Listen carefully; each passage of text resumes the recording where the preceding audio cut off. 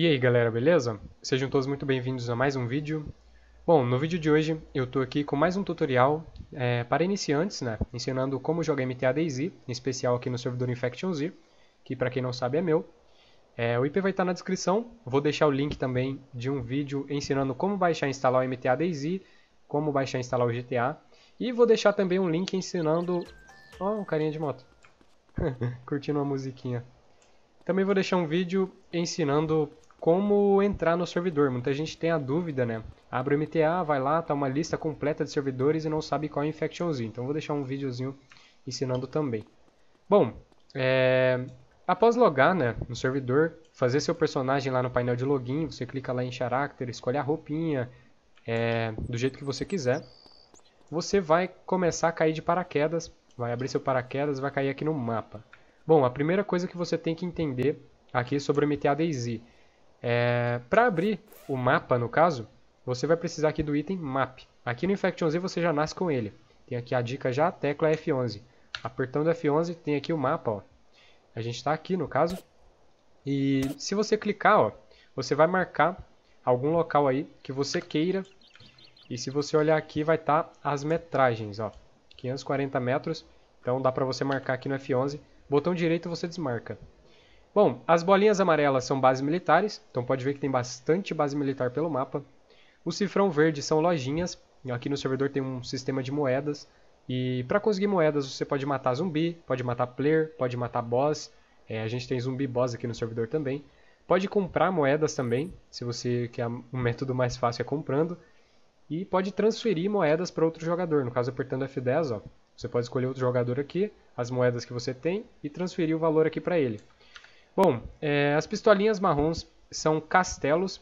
Nesses castelos geralmente tem zumbi, tem zumbi boss, tem caixinha militar que vem bastante item. O cifrão verde serve para você customizar seu veículo. Então se você tem um veículo no servidor, você pode ir lá colocar nitro, colocar suspensão, pintar ele da cor que você quiser. Claro, é, alguns carros não dá para pintar. Por exemplo, o Patriot, que é um Jeep militar, ele não dá para pintar, ele sempre fica verde. Mas a maioria dos carros dá para pintar. Bom, é, o hambúrguer, esse daqui, ele vai cair a cada 40 minutos em uma região determinada do mapa, uma região aleatória. Ele é uma ajuda humanitária, é uma bolsinha que vem uma arma, bastante comida, bastante bebida, bastante medicamento, é, itens no geral para peças de carro, é, coisas que você vai precisar para montar um carro, né? O aviãozinho branco é o supply, ele, diferente da ajuda humanitária, ele cai a cada uma hora, uma hora e meia, e ele vem muito loot militar, Enquanto a ajuda humanitária serve para matar sua sede, matar sua fome e te dar medicamentos, o suple ele vem muita arma, muita munição, mochila, colete, capacete. Para quem não sabe, aqui no, no servidor tem sistema de colete e capacete, né? Então, se você não tem um capacete, toma um tiro na cabeça, qualquer arma vai te matar. Se você tá com um capacete, algumas armas você vai precisar tomar dois, três tiros, aí o capacete vai quebrar, e aí depois que quebrar, se você tomar um tiro, você morre. E o colete serve para te dar uma proteção extra, né? Então você, vamos supor, sem colete, uma, um rifle vai te matar com 3 tiros. Se você tiver de colete, vai precisar de 5, 6 tiros para te matar. E o colete quebra também, então ele tem durabilidade assim como o capacete. Bom, é, continuando aqui no F11, esse bonequinho verde, tem ele em dois locais, é um botzinho de missões, é um sobrevivente que ele vai te dar tarefas aqui no servidor para você fazer. Por exemplo, traga-me 5 comidas, traga-me 5 bebidas, mate 10 zumbis. E fazendo suas missões, você vai ganhar XP. Com esse XP, você vai melhorar o teu personagem. Por exemplo, apertando aspas aqui, ó, para ver a quantidade de players on. Eu tô aqui, ó, nível 5. Aqui você vê o level de todo mundo. Eu tô nível 5. Apertando F1, aqui na aba dados, você também vê o level. Ó, level 5, 4.000 de XP, de 8.000. Quando eu chegar em 8000, vou, pra, vou para o level 6, né? Aqui nas habilidades, pode ver que caçador eu já estou 1.1%, médico 1.5%, e cada level que você passa, essas porcentagens vão aumentando, né, de acordo com o teu level. E, por exemplo, na médico 1.5, eu nasço aqui com bandagem, painkiller, morfina normal. Quando essa médico chegar, por exemplo, em 2.0, é, eu vou começar a nascer com Blood Bag, que é um saco de sangue que você pode aumentar um pouquinho sua vida, ou eu vou nascer com Medikit, que aumenta mais ainda, regenera dores, muita coisa diferente. E basta você upar level, né?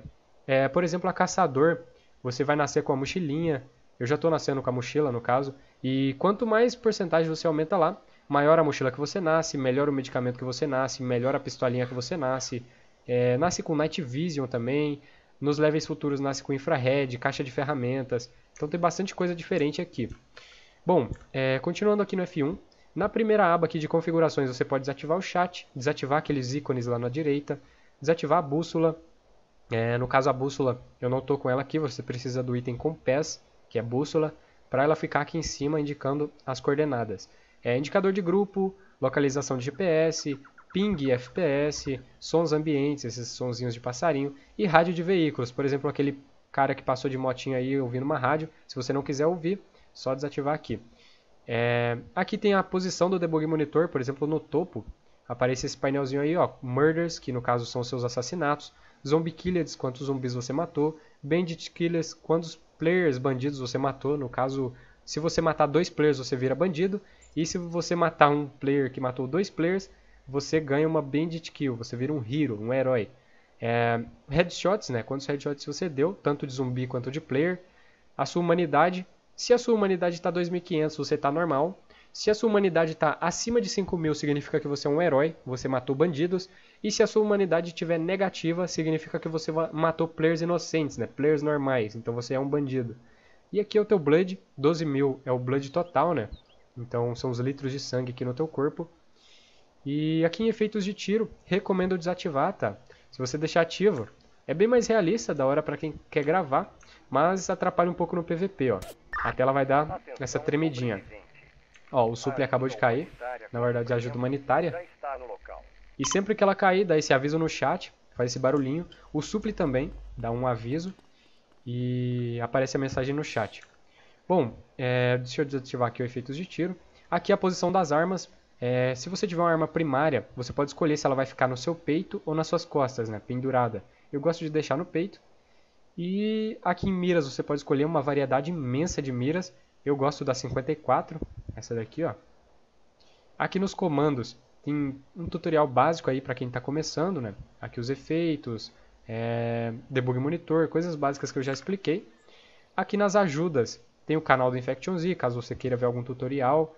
Aqui tem explicando tudo o que eu falei sobre o F11. É, inclusive tem o T aqui, ó, que eu não expliquei. Esse T é uma fábrica onde você pode derreter armas e você vai pegar o item Steel Sheet. Esse item você pode blindar veículos. Eu vou gravar um vídeo futuramente também ensinando como blindar veículos. Eu tenho um no canal, mas é bem antigo, então vou regravar ele. É... Tem bastante coisa aqui, né? Explicando. Ó, tem as petrolíferas também. Ó, apertando menos, você dá um tiro zoom aqui do mapa, né? Então, pode ver que tem uma âncora aqui, uma âncora aqui, uma aqui e uma aqui. Quatro âncoras. Essas âncoras são basicamente petrolíferas em alto mar, e lá tem loot muito raro, mas para chegar lá você precisa de um avião, um helicóptero, um barco mesmo. E lá tem boss, tem zumbi, tem muita coisa, e assim você consegue um loot bem da hora. É...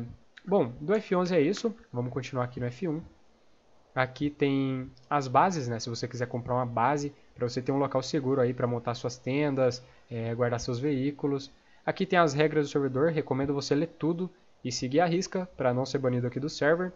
Aqui nos dados você consegue ver as suas kills de zumbi.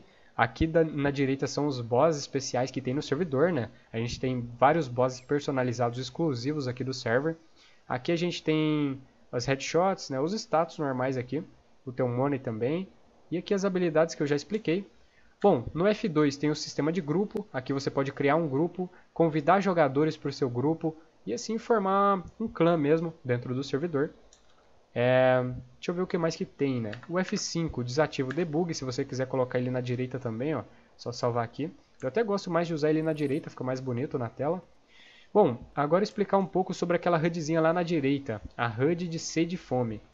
Bom, é, essa primeira é a humanidade, então como eu tô com a humanidade padrão, a carinha tá séria, se eu matar bastante player, essa carinha vai ficar um pouquinho com a cara de mal, como se eu fosse um bandido mesmo. E se eu virar um herói, essa carinha vai ficar sorrindo, né? Ela vai ficar feliz.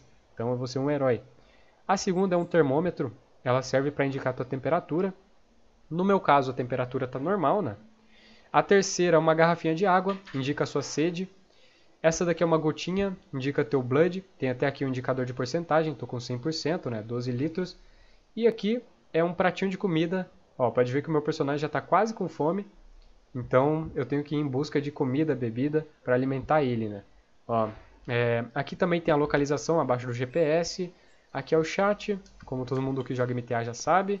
Lá em cima é a tua munição, né? O nome da arma e a munição. E, bom, basicamente é isso para o primeiro vídeo aqui ensinando como começar a jogar aqui no servidor. E para usar o inventário é a tecla Tab. Aqui no inventário, é, o loot de cá é o teu loot. E de cá é um loot de uma gear. Várias pessoas que entram no servidor perguntam como pegar loot. Bom, você tem que sair andando pelo mapa procurando algumas caixinhas. Né? Geralmente elas ficam nas portas de casas. É, vamos passar por aqui ver se a gente encontra alguma. Ó, aqui tem uma caixinha. E essa caixinha ela não renderiza de longe, então você tem que passar bem perto. Ó, ela para de renderizar assim. Então você tem que chegar aqui, passar em cima da caixinha. E quando aparecer lá na esquerda Gear, você aperta Tab ou aperta J. Ó, aqui tem comida. Vou pegar. Tem outra comida. Clicando nela você consegue ver a descrição. Ó. E aqui ela veio para o meu inventário. Cliquei na setinha aqui ela veio. Bom, é, para comer é simples, dá dois cliques. E já pode ver que o pratinho lá na direita regenerou, né? Então o meu personagem não está mais com fome. Bom, e pelo mapa todo tem essas caixinhas, né? São chamadas Gears. Ó, aqui tem outra.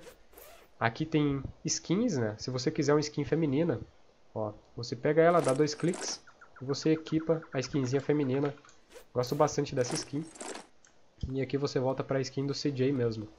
Bom, e você pode andar pelo mapa todo, que vai ter essas caixinhas espalhadas, né? São os loots para você lutear. E nas bases militares essas caixinhas vão dropar armas. Pela cidade vai dropar comida, bebida, mochila. Ó, vamos ver o que tem aqui. Ó, aqui tem uma mochila melhor que a minha, capacidade 30 slots.